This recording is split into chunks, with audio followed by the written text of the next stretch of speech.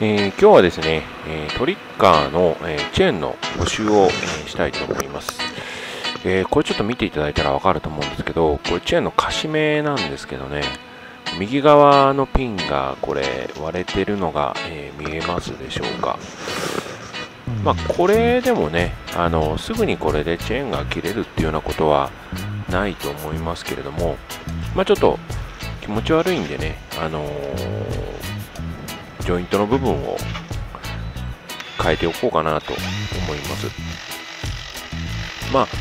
えー、私のね、持ってるチェーンカッターがですね、えー、ちょっと、まあもうしょぼい、まあね、2000円もしないようなチェーンカッターなんで、あまりちょっと負担を、えー、かけたくないですから、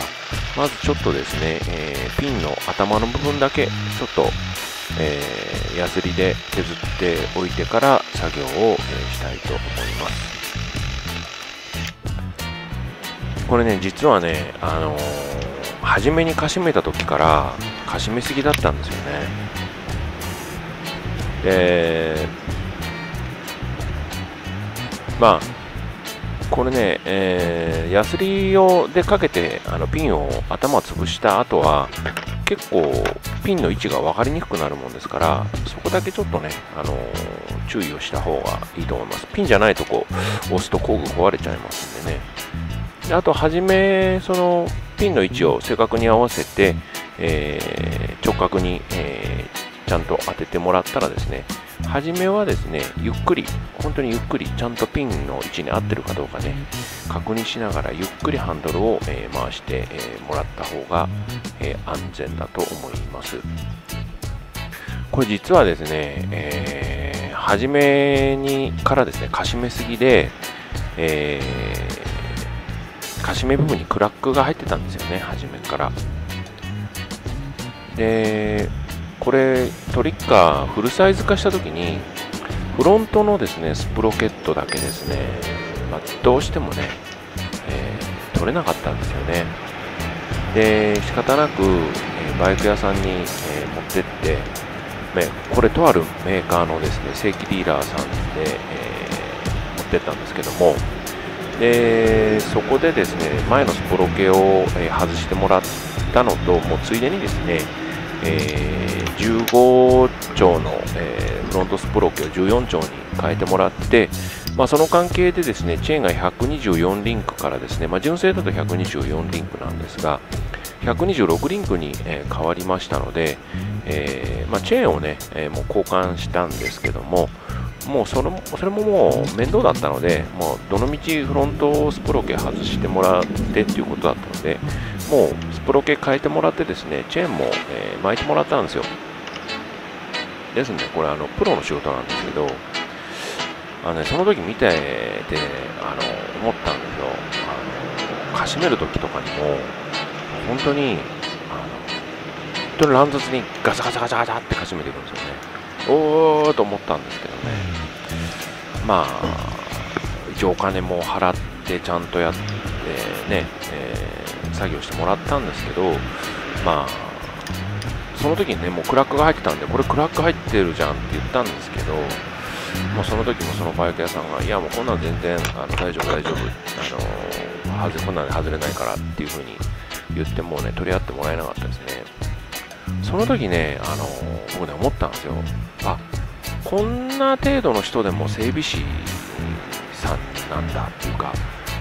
こんなんでも整備士コアっていうか、ねこんな整備士さんもいるんだと思った時にあのお金払って、えー、いやまあこちらとしてはこう安心だからお願いするわけじゃないですかバイク屋さんに。でもそのバイク屋さんの整備士さんが、まあ、そういう作業をするんであれば、まあ、別に、え自分でできるところはもう自分でやっちゃえばいいんじゃないのっていう風に思いましたね。でまあ、それからなんですけどね、僕はあのほとんど結構自分でできるとか自分で、えやろうというふうに思ったのは、まあ、そのきっかけ、まあ、それがきっかけでですね、自分でいろいろやるようにはなったんで、まあ、結果としてはありがたいかったかなとも思うんですが、まあ、案の定ですね、えー、それからどのくらいでしょう、まあ、4、5線、えー、走ったところでですね、クラックが入ったところが、えー、まあ、今回先ほど見ていただいたように、えー、もう割れてきたので、まあ、今回はね、もうジョイント自分で交換しようと、え思いました。まあ、これジョイントなんて200円ぐらいのもんなんで、え安いもんです。で、まあ、コーチに自分でやれば0円ですから、え200円ぐらいで直っちゃいますので、まあ、私ね、あのグリス、このクレのグリスしか持ってないんで、まあ、初めからこの交換用の、えー、ジョイントにはグリスが塗りたくってあるんで、まあ、別にそれ以上塗らなくてもいいのかもしれないんですけど、まあ、ちょっともうあの自分、このグリスしか持ってないんでね、このグリスをさらにちょっと上乗せして、えー、つないでいこうと思います。これジョイント部分とね、あのゴムのパッキンが4つついてるんで、このパッキンにもですね、まんべんなく、まあ、グリス、まあもともとこれ塗ってあるんですけどね、ってもらって、えー、差し込んでいただく形になるんですけど、まあ、あのこの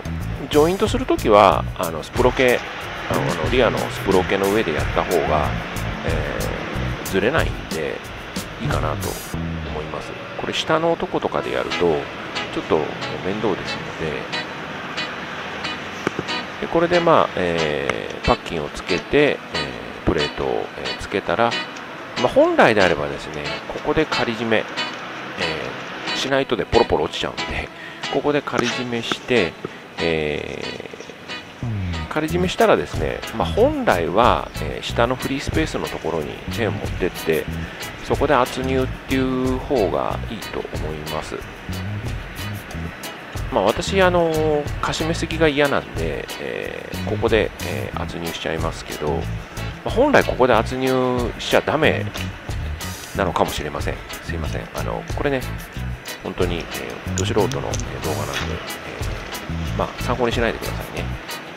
本来はこうして、え下に持ってって、このフリースペースのところで、え圧入をするものだとは思います。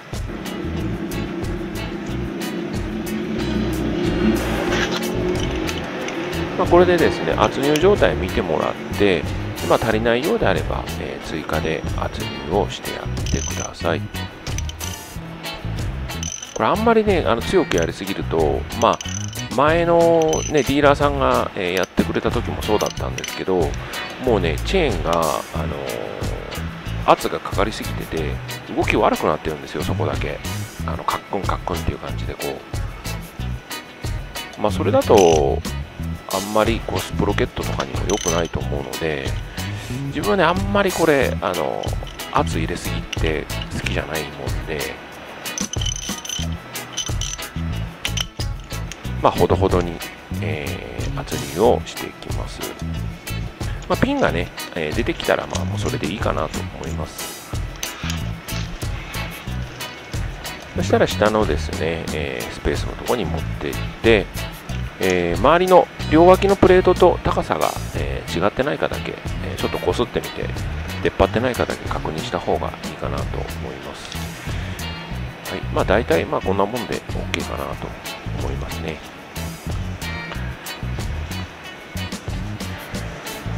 まあ、そうしたらですね、えー、かしめていきます。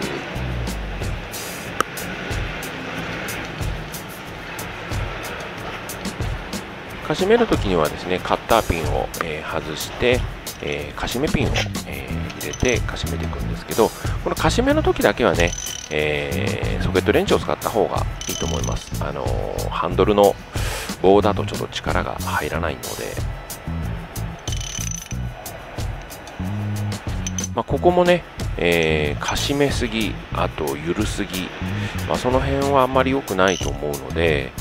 うんまあ、私、個人的にはですね、もうちょこちょこちょこちょことこう見ながら、えかしめていきます。まあ、プロの方一発でかしめるんでしょうけど、あのー、まあ、私素人ですからね、えー、どのぐらいかっていうのをこう勘では分かんないもんで、まあ、ちょっとずつ、ちょっとずつかしめてですね、え、かしめの広がりを見ながら、えー、やめ時を、えー、考えて、今回はやります。まあ、近々ね、あの YBR の方もチェーン交換しないかんのですけど、まあえー、こちらのトリッカーの、えー、このチェーンはもうシールチェーンですので、まあ、大体どのくらいでしょう2万ぐらいは大丈夫なんですかね、えー、でまだ5000ぐらいしか走ってないので、えもったいないんで今回はここの、えジョイントの部分だけ補修しますけど、まあ、YBR の方はノンシールチェーンですので、まあ、大体、ね、5000とか6000走るともう交換時期だとは思いますから、まあ、近々、えー、YBR のチェーンも変えないといけないんですけど YBR の方はですね、カシメ式じゃなくてクリップ式なので、まあ、あのこういう特殊な工具は、えー、そんなに必要じゃないなと思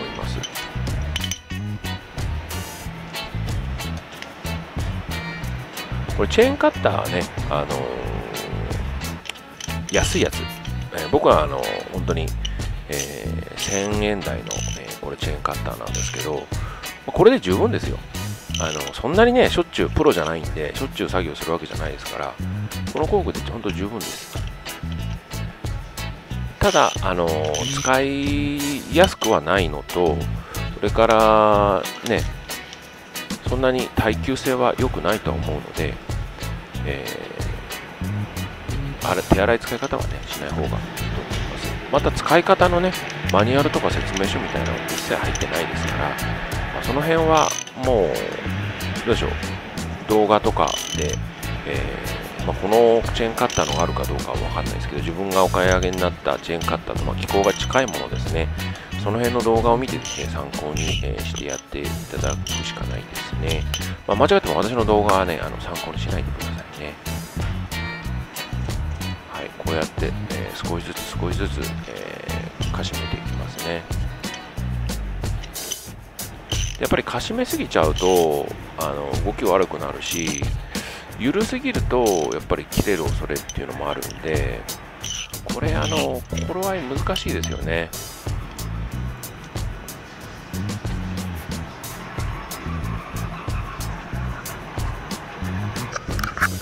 まあ、私の、はい、うん、どうですかね、こんなもんですかね。まあ、とりあえず、このぐらいでいいかなと思います。外れるとは思えないですね。